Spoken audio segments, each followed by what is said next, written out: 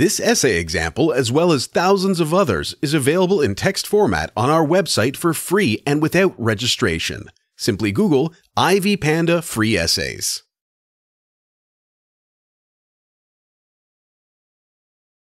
Introduction The style employed by a writer acts as a mark of differentiation from the other writers. Stephen noted that a writer's style points to the tone of the story, which is critical for the reader to understand. Some of the factors that differentiate writers are the use of figurative language, such as symbolism, personification, similes, metaphors, and hyperboles. This paper compares and contrasts William Faulkner and Ernest Hemingway with respect to A Rose for Emily and the Snows of Kilimanjaro.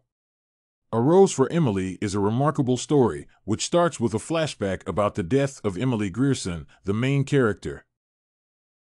The story is written from the perspectives of Emily and the community and combines the past and the future to depict power and love. On the other hand, The Snows of Kilimanjaro is about a writer who is dying due to a gangrene infection while on a safari. Hemingway starts the story with an epigraph, a narration relating to a lone leopard on the tip of Kilimanjaro. The comparison of the works of the two writers will be based on figures of speech.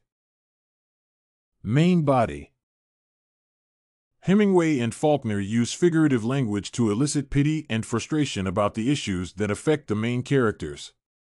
This forms the basis of building the themes of the stories. With respect to the two stories, the common figure of speech is the use of metaphors to point to different aspects of life affecting the main characters in the stories.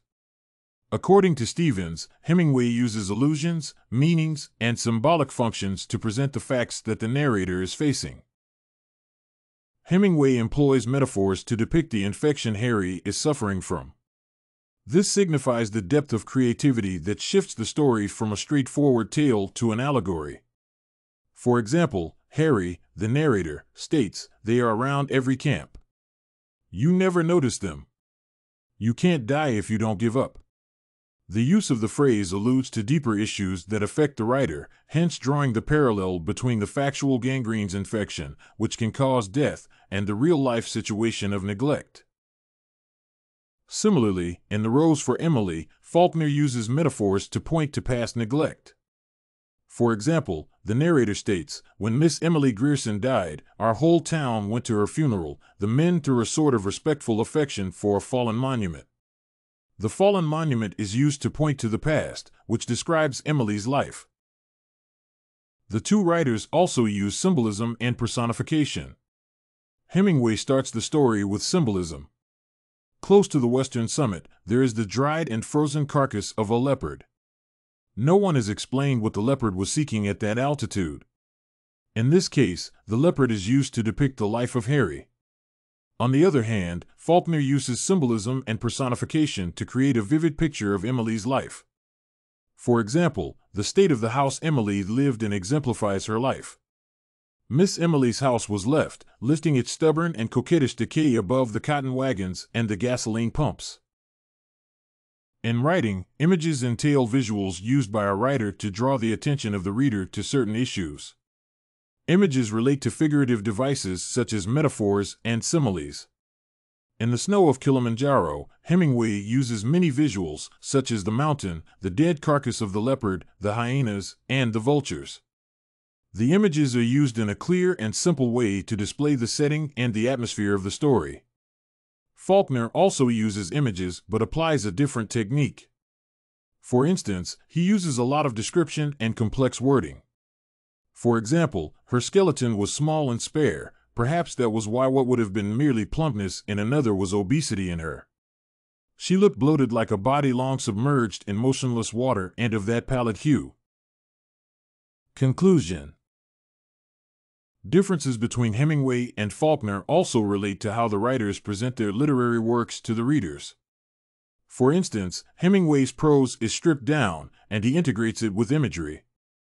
This allows the presentation of the main theme in a manner that makes the reader feel part of the happenings. This is achieved by the use of first person narration, which makes the reader be part of the seeing and action. For example, the use, Love is a dunghill, said Harry. And I'm the cock that gets on it to crow. The narration is based on the self ruminations and memories. The images are used to depict the life of regret. This is contrary to Faulkner's presentation of the theme of power and loves in A Rose for Emily. The writer uses a different approach to capture the attention of the readers by teasing the imagination of the reader. For example, the writer uses conflicting cues to make the reader's suspicion of the truth about Emily keep on growing.